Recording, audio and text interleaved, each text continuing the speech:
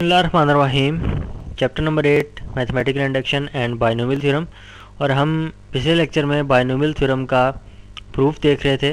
तो और हम सेकंड केस पर पहुँचे थे, ठीक है? तो लेक्चर का टाइम ख़त्म हो गया था चूँकि।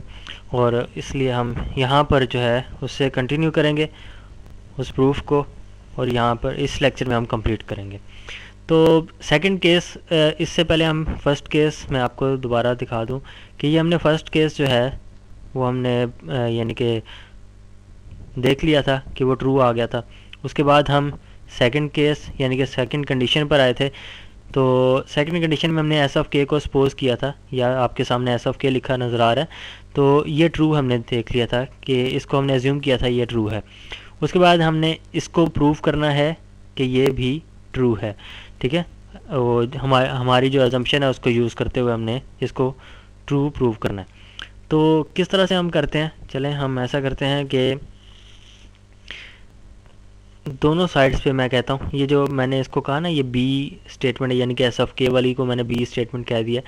इस स्टेटमेंट को दोनों साइड्स पे हम मल्टीप्लाई करते हैं ए प्लस एक्स से, ठीक है? मैं आपको यहाँ पर स्टेप्स भी साथ में लिख रहा हूँ। Multiplying a plus x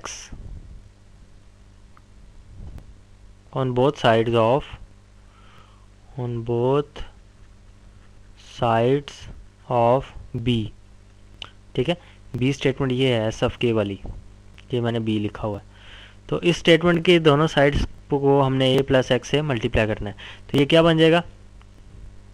ये बनेगा a plus x into a plus x power k पहले से मौजूद है। Is equal to right side पे भी हमने ए प्लस एक्स से मल्टीप्लाई करना है। ए प्लस एक्स इंटू जो पहले से मौजूद k C zero into a power k plus k C one into a power k minus one into x plus k C two into a power k minus 2 x power 2 plus so on. Or mid value terms k c r minus 1 into a power k minus r plus 1 into x power r minus 1 plus k c r into a power k minus r into x power r plus so on और फिर last वाली terms आ जाएँगी।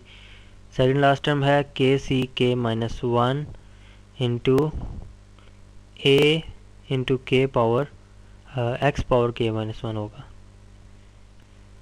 X power k minus one plus k C k into x power के तो ये हमने दोनों sides पे सिर्फ़ मल्टीप्लाई क्या किया है ए प्लस एक्स को, ठीक है?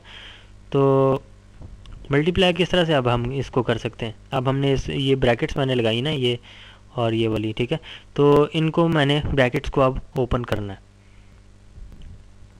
ब्रैकेट्स को ओपन करेंगे तो ये दोनों टर्म्स जो हैं, इन सबसे मल्टीप्लाई होंगी। इसका मतलब क्या है? ए जो है, वो अलहदा मल्टीप्लाई होगी सब टर्म से। एक्स जो है, वो अलहदा मल्टीप्लाई होगा सब टर्म्स के साथ।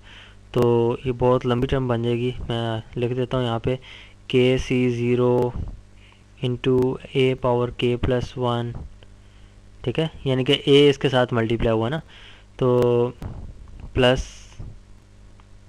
k C one into a power k into x plus k C two into a power k minus one into x power two plus so on और फिर मिड वाली terms k C r minus one into a power k minus r plus two और into x power r minus one plus second जो mid वाली term होती है k C r into a power k minus r plus one into x power r actual mid वाली term ये है, ठीक है?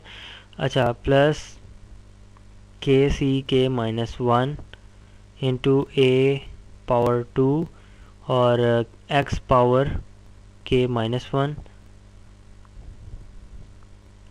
तो इससे पहले जो है, हम ये लिखेंगे एक्स स्क्र यहाँ पर मैं कर देता हूँ, सात एक्स स्क्र मल्टीप्लाई हो रहा है प्लस सो ऑन और फिर ये सेकंड लास्ट टर्म आती है और फिर लास्ट टर्म आती है। K C k into a into x power k ये तो अभी मैंने सिर्फ़ ए को मल्टीप्लाई किया है, सारी टर्म से। एक्स भी तो मल्टीप्लाई हो रहा है, ठीक है? तो इसके बाद प्लस आएगा। और फिर एक्स वाली टर्म्स को मैं यानी कि एक्स को मैं साथ मल्टीप्लाई कर दूँगा अब सारी की सारी टर्म्स यहाँ पर मैंने जिस तरह से ए को मल्टीप्लाई किया a power k plus one हो गया। अब मैं एक्स को यहाँ पर मल्टीप्लाई करूँगा एक ए इसके साथ, ठीक है? तो ये बाकी टर्म्स इस तरह से रहेंगी। के सी ज़ीरो ए पावर के था। तो साथ मल्टीप्लाई ए हुआ तो के प्लस वन बन गया यहाँ पर लेकिन यहाँ पर नहीं होगा। यहाँ पर एक्स मल्टीप्लाई हो रहा है। Plus k C one into a power k minus 1 x power 2 plus kc2 into a power k minus 2 into x cube plus so on or uh, plus midway term kcr minus 1 into a power k minus r plus 1 into x power r plus kcr into a power k minus r into x power r plus 1 plus so on up second last term kc k minus 1 into a into x power k और साथ में अब last term आ जाएगी k C k into x power k plus one ठीक है तो ये हमने अब के को भी मल्टी यानी कि आप ये कह लें कि ए प्लस एक्स को मैंने इस सारी राइट साइड पे मल्टीप्लाई कर दिया। और लेफ़्ट साइड पे हमारे पास यही रहेगा।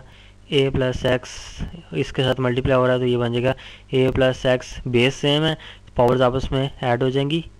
इसकी पावर क्या है? वन है तो ये के प्लस वन बन जाएगा ये पावर ठीक है? तो ये इक्वल इसके आ गई है। अच्छा ये तो हमने अब सिर्फ़ जो है मल्टीप्लाई किया। उसके बाद अब हम इसको सॉल्व कैसे करें?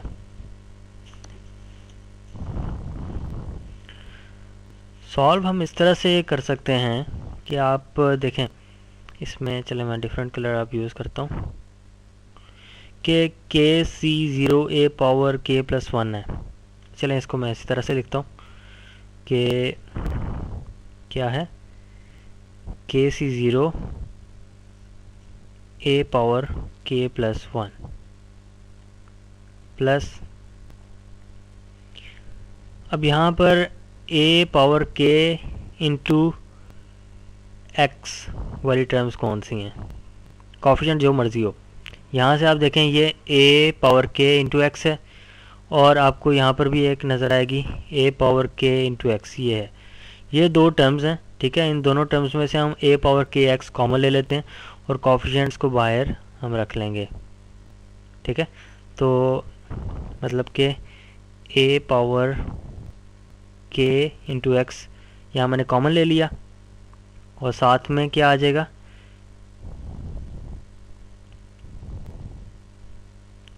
इसके कॉप्शंस का सम आ जाएगा। के सी वन है और के सी ज़ीरो है, ठीक है? के सी वन प्लस के सी ज़ीरो ठीक है? इन दोनों में से हमने ए पावर के अगर आपको सही नहीं नज़र आ रहा है यहाँ तक ए पावर के एक्स जो है, वो मैंने इन दोनों में से कॉमन ले लिया, ठीक है?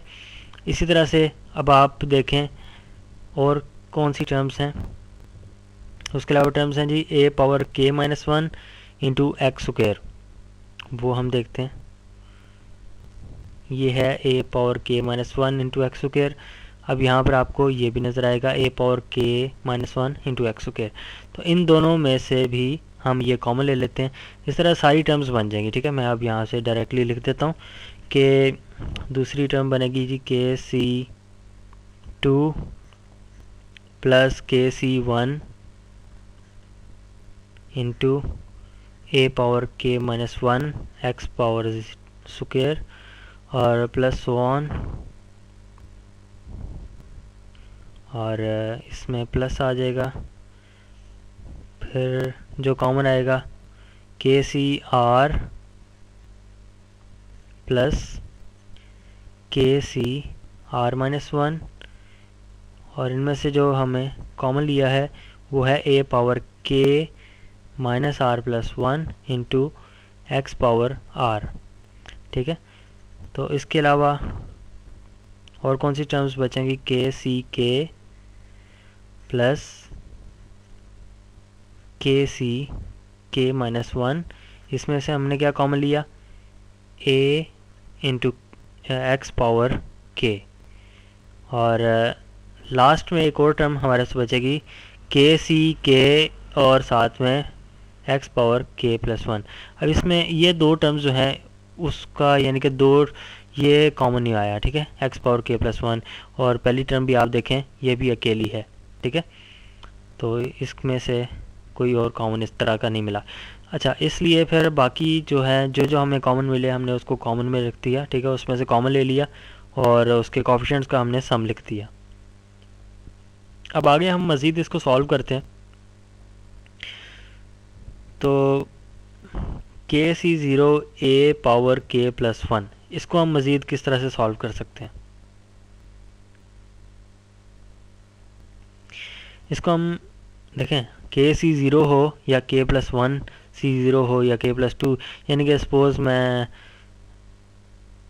के सी ज़ीरो है ये, ठीक है? उसकी कोई एक वैल्यू आती है तो के प्लस वन उससे नेक्स्ट टर्म होएगी। ठीक है? अगर फाइव सी ज़ीरो है तो उससे नेक्स्ट सिक्स सी ज़ीरो दोनों की वैल्यू सेम आएगी वन ही आएगी, ठीक है? चाहे यहाँ पर ten C zero hundred C zero ठीक है? उसकी वैल्यू हमेशा वन ही आएगी। तो इसकी जगह मैं ये लिख देता हूँ k plus one C zero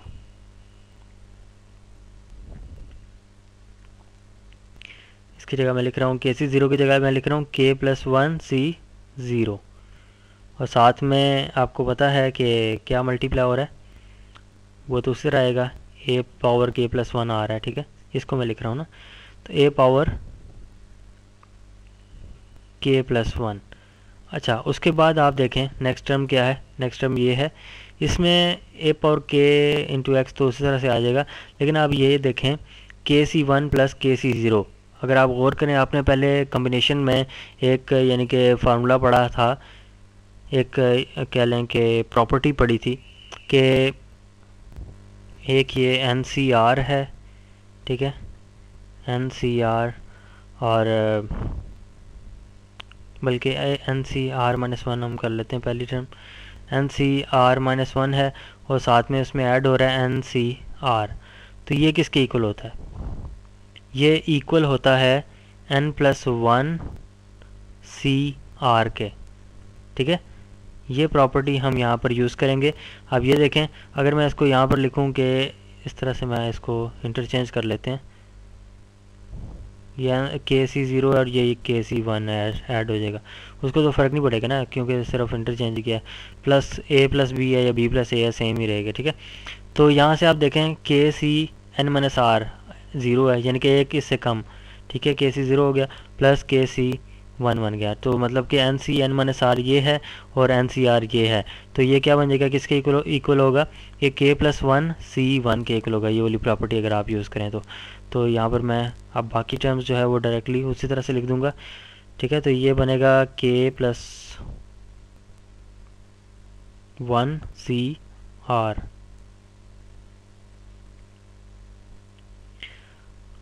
बल्कि आर तो वन ही था। तो आर नहीं आएगा, वन नहीं आएगा। ठीक है? अच्छा k plus one C one आ गया।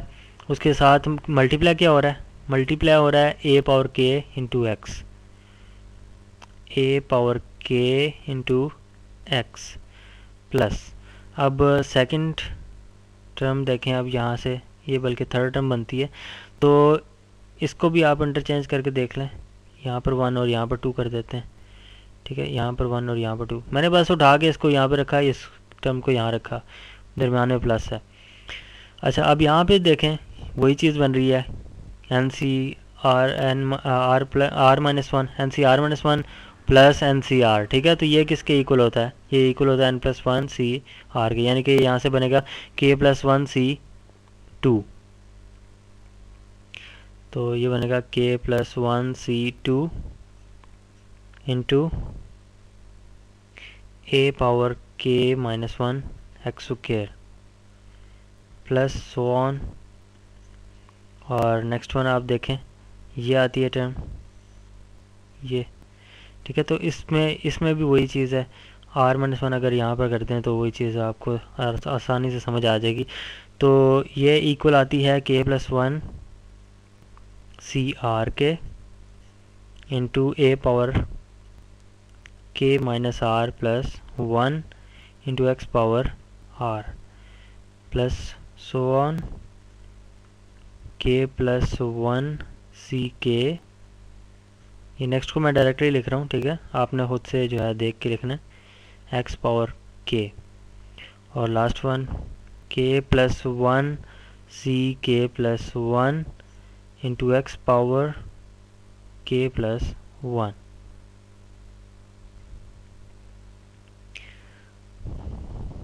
ये मैंने कैसे लिखा? लास्ट टर्म तो उसमें तो कॉमन नहीं था। वो तो सिर्फ़ अकेली टर्म है के सी के ठीक है? उसको मैंने के plus one C k plus one कैसे लिख दिया? वो मैंने ऐसे लिखा कि देखें, अगर के सी के सपोज़ कर लेंगे सिक्स सी सिक्स है। तो इसमें प्लस वन प्लस वन करता हूँ। Six plus one six plus one तो रिज़ल्ट तो सेम ही रहेगा। सिक्स सी सी हो सिक्स सी सिक्स हो या सेवन सी सेवन हो या एट सी एट हो ठीक है? रिज़ल्ट हमेशा वन ही आएगा। इसलिए मैंने जो है के सी के को के प्लस वन यानी कि दोनों में इंक्रीमेंट एक एक कर दिया तो रिज़ल्ट तो सेम ही रहेगा। तो हम असल में के प्लस वन बनाना चाह रहे हैं S of k plus one ठीक है? इसलिए मैंने इसको, इस तरह से इसको यूज़ किया है। तो आप देखें a plus x power k plus one is equal to ये आ चुका है। तो ये क्या है? अगर आप वैसे जो प्रूव करना चाह रहे थे, उसको अगर देखें। ये एस ऑफ़ के है और ये S of k plus one है।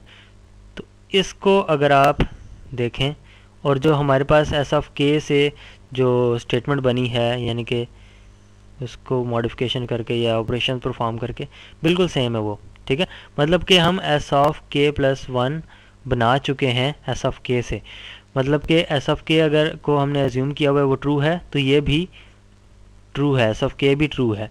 तो दोनों कंडीशंस यहाँ पर जो है, वो सेटिस्फाई हो चुकी हैं। तो कंडीशन टू मैं लिखता हूँ कंडीशन टू सेटिस्फाइड तो कंडीशन टू जब सेटिस्फाई होगी, उसका मतलब है कि हमारी स्टेटमेंट जो है एस ऑफ़ एन जो है, वो ट्रू है। एस ऑफ़ एन क्या है? जो हमारे पास स्टेटमेंट है, जिसको हम प्रूव करना चाह रहे थे। प्रूफ यहाँ पर देखें, हमारे पास एस ऑफ़ एन क्या है? एस ऑफ़ एन जो है, ये हमने एज्यूम किया था given statement is S of n और गिवन स्टेटमेंट हमारी क्या थी? ये हमारी गिवन स्टेटमेंट है। A plus x power n is equal to n C zero a power n x power zero plus n C one into a power n minus one और into x plus ये सारी, यानी कि ये binomial theorem को हमने यहाँ पर प्रूव कर दिया मैथमेटिकल इंडक्शन को यूज़ करते हुए। तो यहाँ पर हम इस लेक्चर को ख़त्म करेंगे। तो इसमें आपने प्रूफ क्या देखा? बायनोमियल थ्योरम का। सिंपल हमने क्या किया? सबसे पहले पहली कंडीशन जो है वो तो सिंपल है, ठीक है? एन की जगह वन वन पुट किया। Left hand side right hand side के इक्वल आ गई। हमने काट रू है। सेकंड कंडीशन में हमने वही बिल्कुल सेम के कंडीशन हैं, ठीक है? एस ऑफ़ के को हमने एज्यूम किया कि वो ट्रू है, ठीक है? तो उससे फिर हमने जो है देखा कि हमने प्रूफ क्या करना है? S of k plus one को ट्रू प्रूफ करना है। तो S of k plus one ये आपके सामने, यानी कि एन की जगह के प्लस वन मैंने लिखा। उसके बाद मैंने एस एफ़ के को यूज़ किया एस एफ़ के वाली स्टेटमेंट को। Multiplying a plus x on both sides of B B क्या है? एस ऑफ़ के वाली स्टेटमेंट है। ठीक है, उससे हमने जो है ये S of k plus one बनाया। तो हमने यहाँ से कहा कि ये ट्रू है, अगर एस ऑफ़ के जो है वो ट्रू है। तो यहाँ पर इस लेक्चर को ख़त्म करते हैं। नेक्स्ट लेक्चर में हम इसके यूज़ को पढ़ेंगे। इससे रिलेटेड एग्जाम्पल्स भी करेंगे।